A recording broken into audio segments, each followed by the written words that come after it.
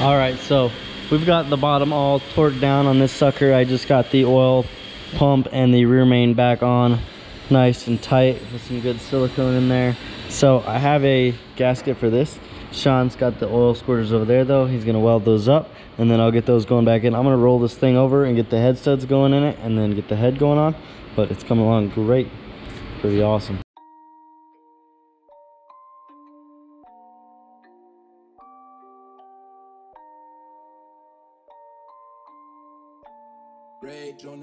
Going crazy.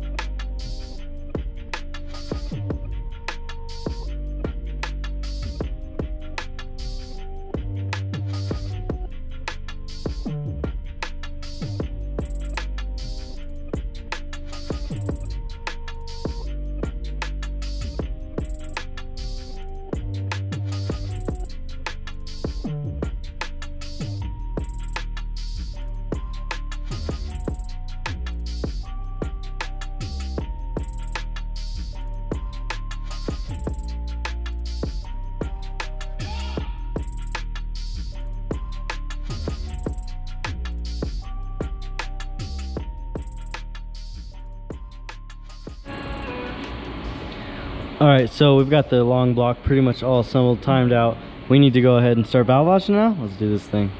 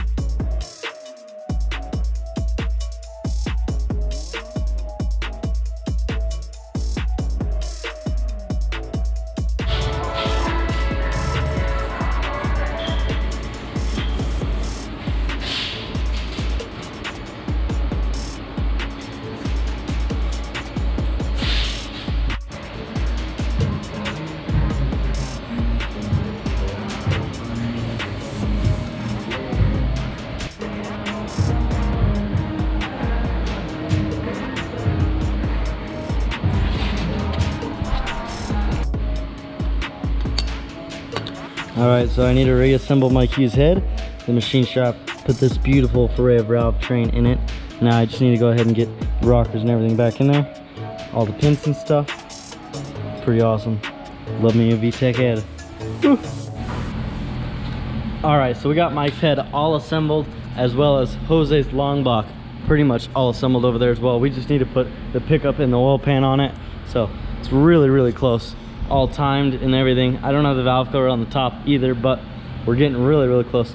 On Mike's short block here, I'm almost done, but I've got to ask Jamie to ask him a few questions because I did not take this thing apart. I just been running through this tote here for parts and it looks like I do not have my timing gear and the nut for this. So I'm just gonna have Jamie ask Mike a few questions if he's got those things or if possibly they got lost in like movement of everything because this all the parts were originally dropped in the dyno bay and then I moved them over here.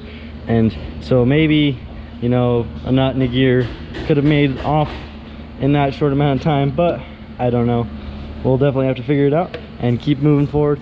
This thing is looking really really good though guys. We've got pretty much everything else. I mean he's got a whole nother tote. I went through that one as well and that one's got everything for another block a second h22 so he wants a spare motor put together as well and that's pretty cool. But um that one didn't have those few things either so he probably has parts from both motors in another tote or something back home. And uh, we'll get that all situated and figured out. I'm excited. This is awesome. Got tons going on around here and the crx is looking great so I'm just waiting on those oil squirters to be welded up and then I can get this one all buttoned up and covered up. I got the valve cover on there, sealed it up. I uh, put a bag on my Q's, sealed that one up.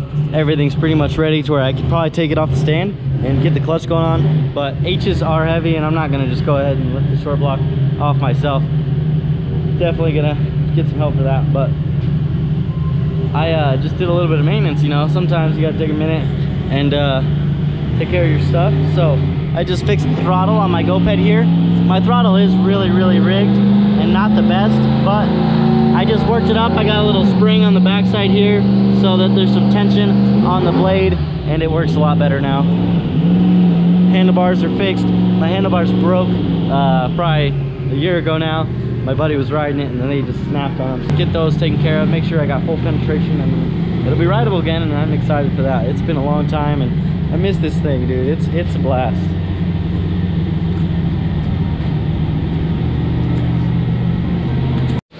So I was checking out the GoPed and it was just the slip tube that broke. The handlebars are actually fine. So I built a little custom slip tube out of just a piece of DOM. The slip tube is actually inside of this piece because the DOM is too big, but I put the slip tube in there. I hammered this piece of DOM over the slip tube all the way down to the bottom and there's a slight little bit of play in the handlebars but just about as much as there are in Gordo's handlebars on his scooter right here. So he's over here messing with his and trying to clean it out and mess with the spark plug and stuff to get his to run. It's ran before, but it's been a while. So he's got the Bigfoot and I've got the Sport. We're gonna go out riding once we get these things fired up. But we need to get some two-stroke oil and a little bit of things. So well, it'll be a second, but not too long. I'm right there with Jose's. Just need the oil squirters and then the bottom stuff and we'll get that thing buttoned up and Mike Hughes is right there as well. I need to track down some things and get that thing buttoned up and uh, send those both home. I'm pretty excited. I'm pretty excited to get some more cars out at the PSCA events. All right, guys, we got the GoPed all fixed up, and I just went out and I went ahead and raced the little electric scooters we got for the track. Smoked it. Smoked it, man. Jamie was riding the electric scooter, and I walked away like he was parked. Oh, the GoPed, I miss it. So fast, it's great. And we don't even have the, the rad billet motor. We just got a regular GoPed motor. It is a little built, a little aftermarket, but it's nothing special. Whew. What a rush. Love, love the GoPeds. Good morning, guys. So Sean got those squirters all welded up. We welded the, uh, we got those things bolted in there. My throttle body just showed up for the Gato intake manifold. Ross Machine Racing one right here. Bolts are taped into the back. We got the O-ring. That's awesome. So I'm excited about that as well as Gordo's brought the sleeves. So once we get his motor out, we will be able to take these sleeves to the machine shop and get those going in his little B16. We've had those sleeves for 10 years. We've had these B16 sleeves hanging out. We Gordo checked the shipping on them the other day and they were mailed to us in 2012. So I mean, not quite 10 years, but 10 years. And then as well, he just got a new All right, Gordo, tear into there. Show us what you got. I hooked it up, bro. There's this whole kit for this cool little coolant return Nice. thing. Huh. Nice addition instead of having that that big plastic one in there. Yeah. Make it look nice and clean. Right on. Mounts and everything in there. Look good. Yeah. Right on. With the sleeves over there. Yep. Those aren't from Max Speeding Rods. Nope. I showed them the sleeves too. I told them we had them for 10 years. Yep. Yeah, that It's just crazy. Thing says 2012 on it. It's crazy, man. It's crazy. 2021's almost over, so pretty much 10 years. Yep. And then we got this sick 90 millimeter Ross machine racing throttle body for the CRX. We need to get that bolted on. And then that's a coolant overflow. Yep. Right on. Overflow. Right on. Make the engine bay look a little cleaner. Yeah. Get the, For sure. get the OEM plastic one out of there and I think that's from like some like 05 Accord or something that we found because it's got this weird long neck and then it opens up at the bottom so it Yeah. fit. But Yeah. this will fit great. yeah, that'll fit great. We had an S2000 one in there for a bit too. Yeah. It It's had a different, it's had a different yeah, couple yeah, overflows, was but cool. right on for the uh, Civic, the EF from Max Speeding Rods. So we'll get that installed up in there as well as getting the block sleeved. That's pretty epic. We're gonna just keep moving forward and getting things done. This is awesome. I'm really excited. And uh, we're cleaning up a little bit so we can bring in the Accord and dump the motor out of that guy. Woo! Epic. What's going on? We got lucky, it bolted up first try. Were you worried? I mean, we just assumed it was Mustang bolt pattern. We didn't really check, so You just guesstimated. yeah. A lot of things are. It's a common bolt pattern for intakes. Alright, let's get the Allens and tighten this thing up. Woo! O-rings in there.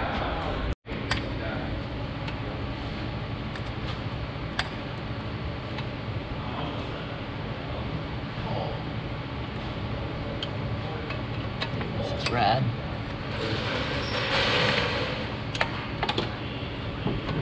Boost up a little bit. Falling down. Thank you, Gordo.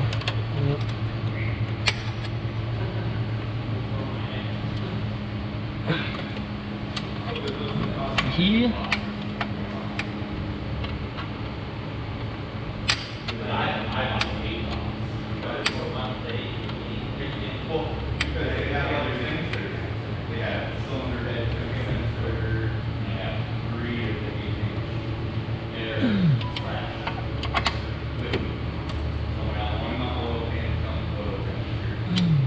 up and down.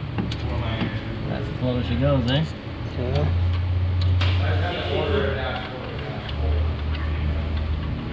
Since that one's got a circle, you could kind of do it at a weird angle if you need to. Yeah.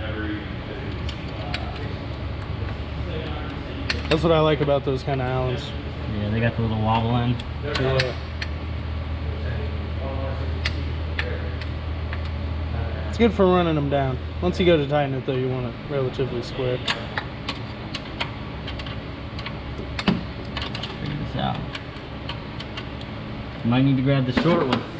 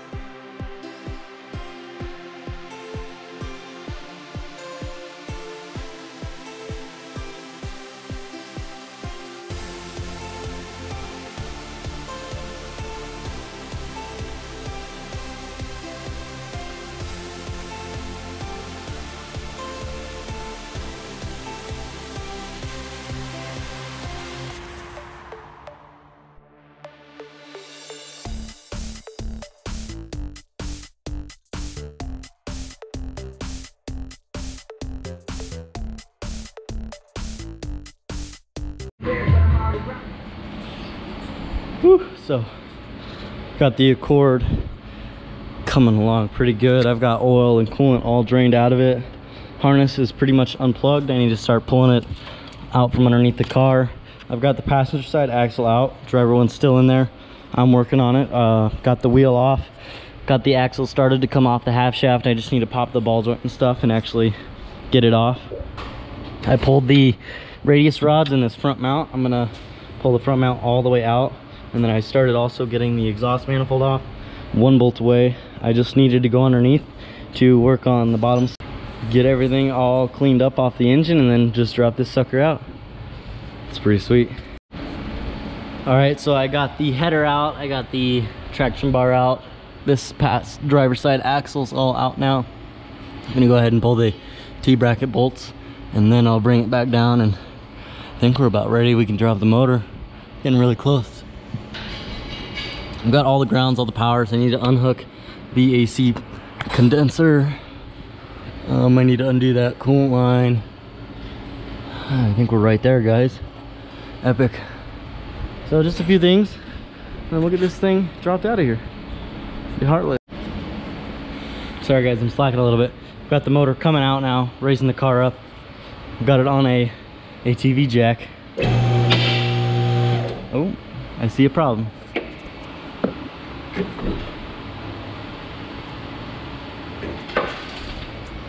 All right, so I need to move the motor out of here now before I go too high because of the exhaust. All right, so we got the motor all, act, all out on an ATV jack. We're gonna go up in the air with the car right now and then uh, try and get that ATV jack down. I've got it on the locks right now, so it won't drop, but whew, what a pain. Wasn't too bad pulling the engine out of this thing, honestly. Pretty clean up in there.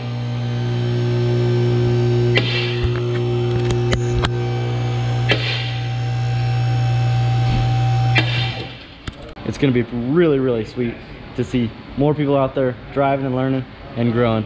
Thanks for tuning in, guys. Like, comment, subscribe down below. This is GoofyBuilt, and peace out.